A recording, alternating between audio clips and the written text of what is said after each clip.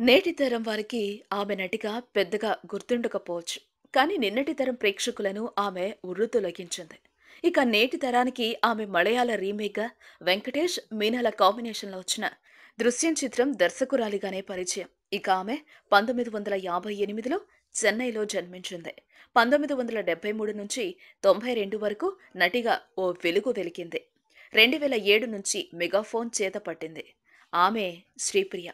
ఈమె పంతొమ్మిది వందల డెబ్బై మూడు నుంచి ఎనభై ఎనిమిది వరకు హీరోయిన్గానే కాక నాటి రోజుల్లోనే లేడీ ఓరియంటెడ్ చిత్రాల్లో నటించి మెప్పించింది. మొత్తంగా మూడు వందలకు పైగా చిత్రాల్లో నటించింది. తమిళం తెలుగు కన్నడం మలయాళం హిందీ భాషల్లో గుర్తింపు తెచ్చుకుంది. ఈ మూడు వందల చిత్రాల్లో రెండు వందల వరకు కేవలం తమిళ చిత్రాలే చేసింది. పంతొమ్మిది వందల డెబ్బై మూడులో లేడీ ఓరియంటెడ్ చిత్రమైన వైశాలి ద్వారా తెరంగేట్రం చేయడం విశేషం. రజనీకాంత్ కమల్ హాసన్ శివాజీ గణేశన్ జైశంకర్ వంటి వారి సరసన నటించింది. పంతొమ్మిది వందల డెబ్బై ఎనభైలలో ఈమె మోస్ట్ బిజియెస్ట్ హీరోయిన్. ఆమె నటించిందంటే సినిమా సూపర్ హిట్ అనే సెంటిమెంట్ నాడుండేది. రజనీకాంత్ సరసన ఇరవై ఎనిమిది చిత్రాల్లో కమలహాసన్ సరసన శ్రీదేవితో పోటీపడి ముప్పై చిత్రాల్లో హీరోయిన్గా నటించడమే కాదు. రజనీ కమల్ ఇద్దరూ కలిసి నటించిన చిత్రాల్లో కూడా ఈమె మెయిన్ హీరోయిన్గా ఉండేది. ఇక దర్శకురాలిగా మారిన తర్వాత తమిళంలో మాలిని ట్వంటీ టూ పరాయం కొట్టై చిత్రానికి దర్శకత్వం వహించింది. మహిళలపై జరుగుతున్న లైంగిక వేధింపుల ఇతివృత్తంతో ఈ చిత్రం రూపొందింది. మహిళలపై జరుగుతున్న అఘాయిత్యాలకు నాలోని కోపాన్ని ఈ చిత్రం ద్వారా చూపించానని ఆమె చెబుతోంది. ఇక రెండు వేల ఏడు నాటికే ఐదు తమిళ డైలీ సీరియల్స్ని డైరెక్ట్ చేయడమే కాదు.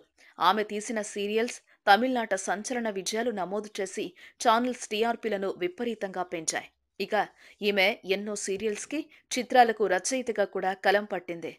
ఈమె మొత్తంగా ఇప్పటి వరకు ఐదు చిత్రాలను డైరెక్ట్ చేసింది. ఇందులో రెండు తమిళ రెండు కన్నడ చిత్రాలు కాగా ఒక చిత్రం తెలుగులో వచ్చిన దృశ్యం. ఈమె సాంఘిక దురాచారాల పట్ల తన వ్యతిరేకతను తన పెయింటింగ్స్ ద్వారా కూడా చాటింది. ఈమె మంచి క్లాసిక్ డాన్సర్ కూడా. ఈమె ప్రొఫెషనల్ మ్యూజిక్ ఫ్యామిలీ నుంచి రావటం విశేషం. వీరి కుటుంబంలో మహామహులైన సంగీత విద్వాంసులు ఉన్నారు. ఇక ఈమె దర్శకురాలిగానే కాదు నటిగా కూడా తెలుగు ప్రేక్షకులకు సుపరిచితం. అది కూడా నిన్నటి తరానికి. ఈమె తెలుగులో పంతొమ్మిది వందల డెబ్బై మూడులో వైశాలి అంతులేని కథ చిలకమ్మ చెప్పింది ఆమె కథ వయసు పిలిచింది పొట్టేలు పున్నమ్మ దొంగల దోపిడి పట్నవాసం ఎవడబ్బ సొమ్ము అమ్మ ఎవరికైనా అమ్మే. హరే కృష్ణ హలో రాధా. బెజవాడ బొబ్బిలి కొంగుచాటు కృష్ణుడు వంటి చిత్రాల్లో యాక్ట్ చేసింది. ఇక ఆమె భర్త రాజ్ కుమార్ సేతుపతి కూడా తమిళం మలయాళంలో పేరున్న గొప్ప నటుడు. ఈయన పంతొమ్మిది వందల యాభై ఐదు ఈయన పంతొమ్మిది వందల యాభై ఐదు జూలై ఇరవై ఒకటిన రాయల్ తమిళ ఫ్యామిలీలో జన్మించాడు. పంతొమ్మిది వందల ఎనభై నుంచి ఎనభై ఎనిమిది వరకు మళ్ళా రెండు వేల పదమూడు నుంచి నేటి వరకు నటునిగా బిజీగా ఉన్నారు. ఇక ఈయన శ్రీప్రియను పంతొమ్మిది వందల ఎనభై ఎనిమిదిలో వివాహం చేసుకున్నాడు. ఈయన తల్లిదండ్రులు షణ్ముగ రాజేశ్వర సేతుపతి లీలారాణి.